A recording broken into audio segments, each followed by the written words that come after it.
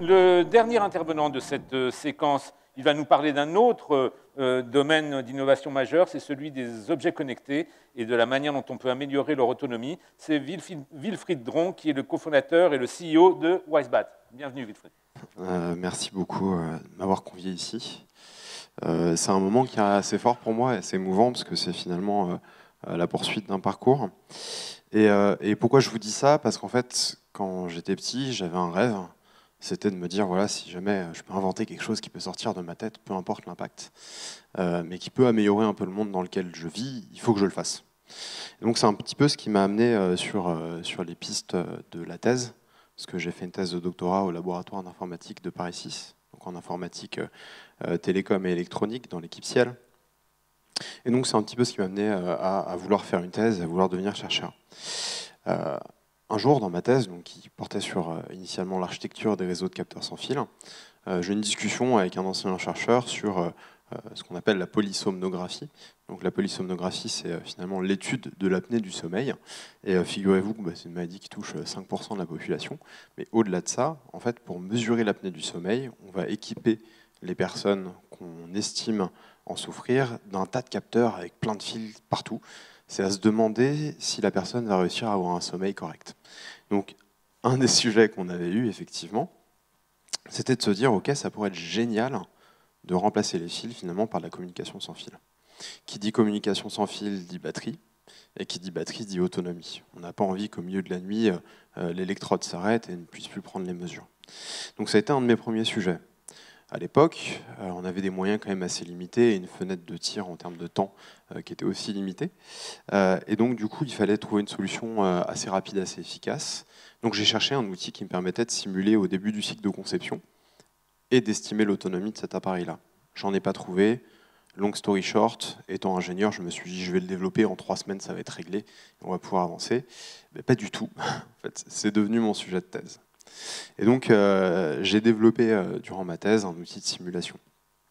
En parallèle, pendant ma thèse, j'ai aussi eu la chance de collaborer euh, avec ce qu'on appelle l'European Institute of Innovation and Technology, puisque j'étais un des premiers thésards innovation entrepreneuriat, et ça, ça m'a permis de partir six mois en Suède et de faire une collaboration avec le Swedish Institute of Computer Science, et de me rendre compte en Suède, dans une équipe, dans un labo qui fait des choses complètement différentes, qu'ils ont exactement les mêmes problèmes à savoir, c'est très très difficile d'estimer euh, les performances d'un système tout au début de sa conception.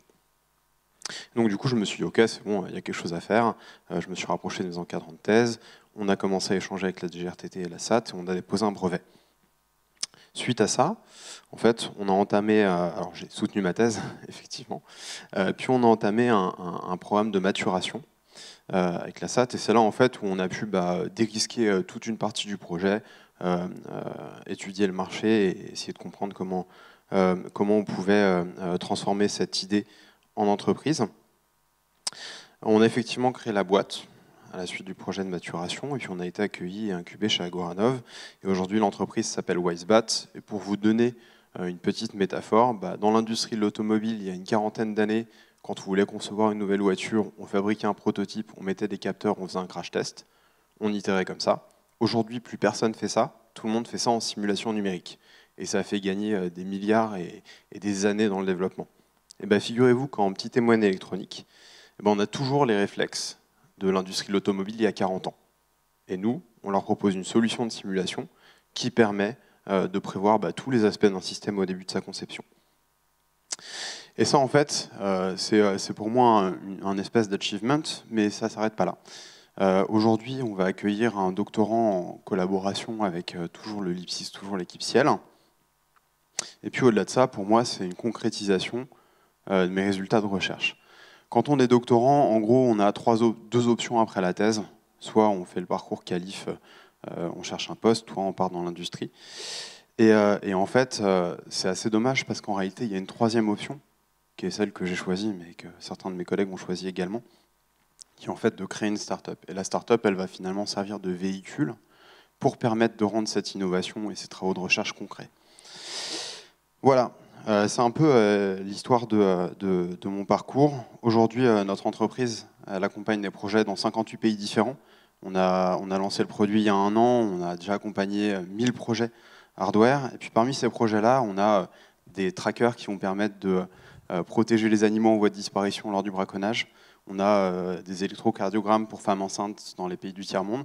Et on a aussi des détecteurs de pollution d'eau dans les puits. Alors même si on n'est qu'un tout petit maillon dans la chaîne, bah, aujourd'hui je suis content de dire que j'ai eu mon petit impact sur le monde d'une idée qui a émergé, qui a pu sortir de ma tête. Et donc j'ai réalisé mon rêve d'enfant. Merci. Merci beaucoup.